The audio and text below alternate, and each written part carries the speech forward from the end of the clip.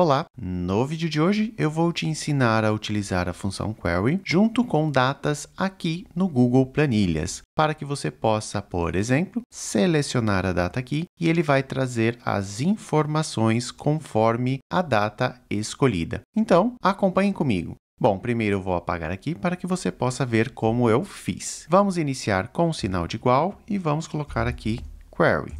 Bom, vou selecionar os meus dados, até a última linha, ponto e vírgula. Vamos colocar aqui a nossa consulta, que é select asterisco e vou aqui no final adicionar ponto e vírgula, colocar um no cabeçalho e fechar o parênteses. Pronto, ele já trouxe todas as informações que eu tenho aqui na minha tabela de origem. Só que nós queremos filtrar utilizando data, certo? Então, vou entrar aqui na minha função e aqui, logo após o asterisco, vamos colocar a cláusula where. E aqui vamos selecionar a nossa coluna de data, que está aqui na coluna B. Então, vou colocar aqui B e vamos colocar igual. E aqui eu vou colocar, entre aspas, simples, 01 barra 01 barra 2025.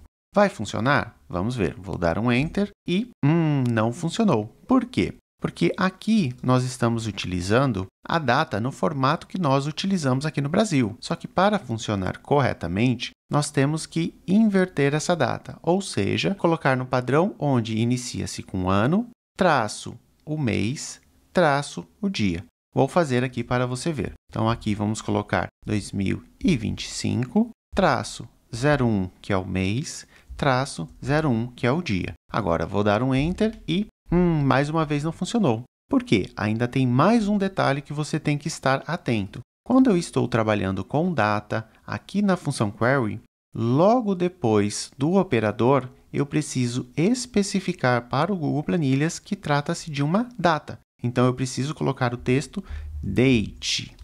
Tem que ser igualzinho eu coloquei aqui. Não pode ser data, tem que ser date. Agora, eu vou dar um Enter e... Opa! Agora funcionou. Então, dessa forma, nós conseguimos trabalhar com data nesse formato. Agora, vamos imaginar que eu queira colocar que inicie em 01 de 1 de 2025 e termine no período de 02 de 1 de 2025. Então, aqui eu vou dar um espaço e vamos colocar o operador AND e vamos colocar aqui novamente B, pois é onde está a data, igual Vamos abrir e fechar aspas simples e colocar 2025, traço 01, traço 02. Não podemos esquecer de colocar aqui o texto de date e vou dar um Enter. Pronto, não funcionou. Por quê? Porque se nós observarmos, eu coloquei aqui o sinal de E. Só que o que ele está falando? Eu quero a data que seja igual ao dia 1 e que seja igual ao dia 2. Então, ele não vai trazer, porque eu não tenho nenhuma data que seja igual ao dia 1 e igual ao dia 2. Então, aqui eu tenho que mudar o meu operador. Então, eu vou colocar que seja maior ou igual ao dia 1 e que seja menor e igual ao dia 2. Vou dar um Enter e pronto. Agora ele está funcionando do jeito que nós queríamos.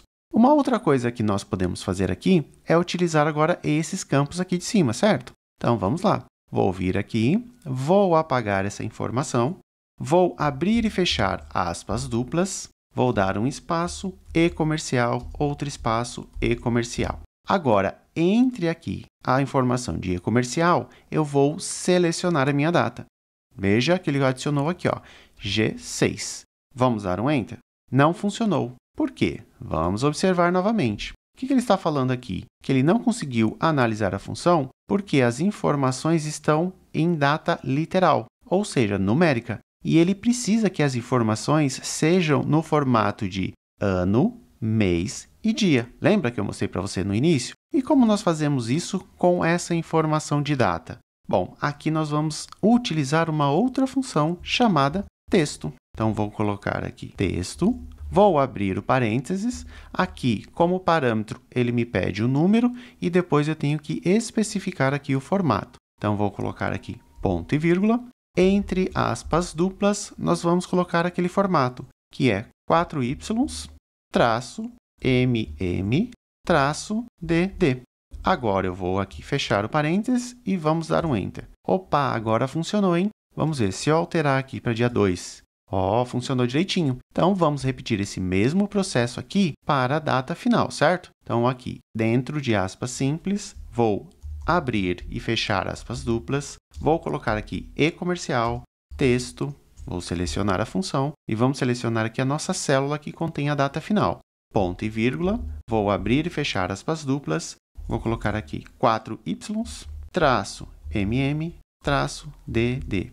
Vou fechar aqui o meu parênteses e não podemos esquecer do e-comercial. Agora vou dar um Enter e pronto. Agora está respeitando a data que nós selecionarmos aqui no campo. Vamos ver? Se eu selecionar aqui no dia 3, ele está pegando do dia 2 ao dia 3. Se eu colocar aqui para o dia 1, ele vai pegar toda a informação. Hoje, vimos como nós podemos utilizar a função query em conjunto com as informações de data. Gostou desse conteúdo? Então, não esqueça de dar um like, se inscrever aqui no canal para receber mais informações sobre o Google Planilhas e comente aqui embaixo qual outra função você gostaria de aprender. Um grande abraço e te encontro no próximo vídeo.